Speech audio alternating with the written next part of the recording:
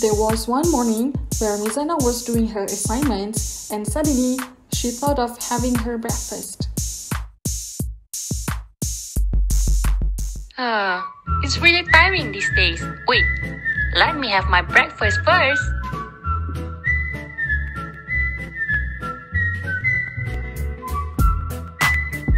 Wow, my favorite half-boiled egg and kacang pool. And Mizana continuously eating the kacang pool without knowing that the egg has spoiled.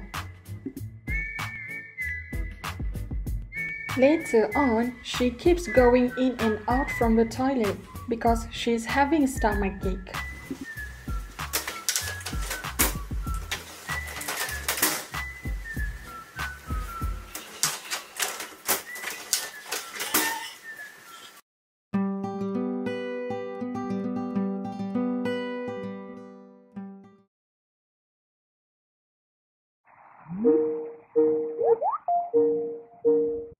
Assalamualaikum. Hi everyone.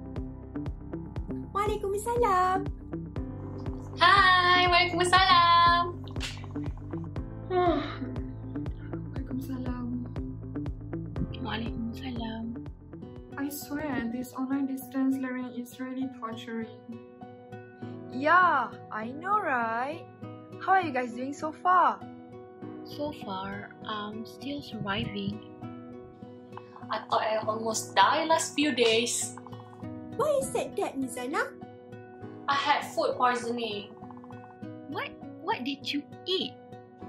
I had one half-boiled egg last few days for my breakfast. I suspect the egg was spoiled. Oh, really? Talking about it, do you know that it maybe has been contaminated with Salmonella bacteria? I think that is the reason why you had food poisoning. Oh, I think I've heard about that bacteria, but I don't remember what it does. Mm, actually, Salmonella is known as bacteria that can cause food poisoning. It can infect your gut and leads you to have diarrhea and sick. Even for some people that have weak immune systems, it can be life-threatening once it enters the bloodstream. Yes, Akis is right.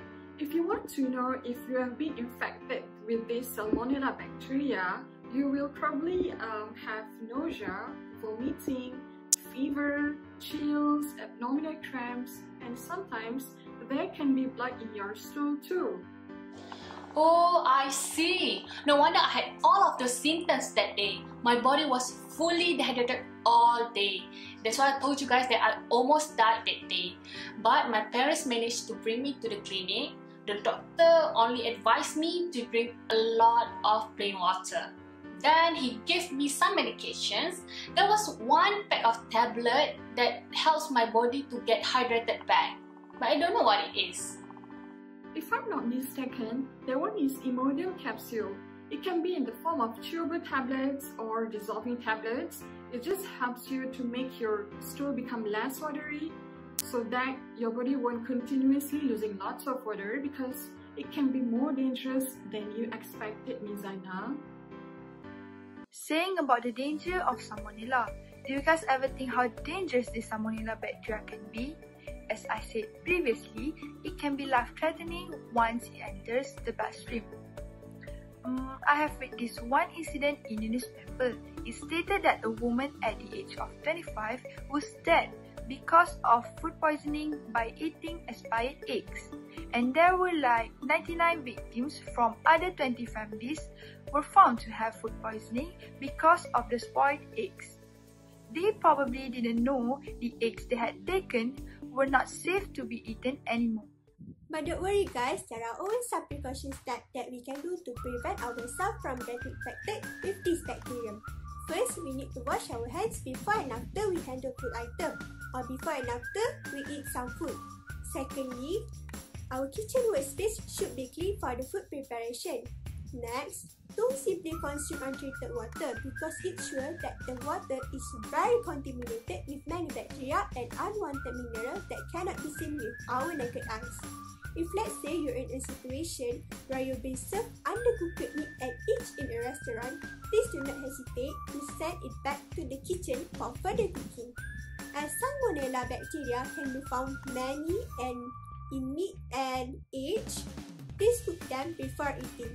Last but not least, if it's necessary to clean out the leaf of fruits and vegetables, please do so. I wonder if Salmonella bacteria can infect animals too.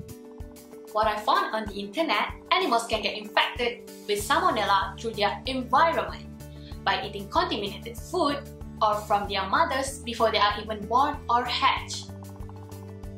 Wow, this topic has brought us into a long chat. Nice info, guys. It all started from me. There are so many knowledge that I came from our chat today and it's just about Salmonella bacteria. Alright, see you guys again once this COVID 19 is over.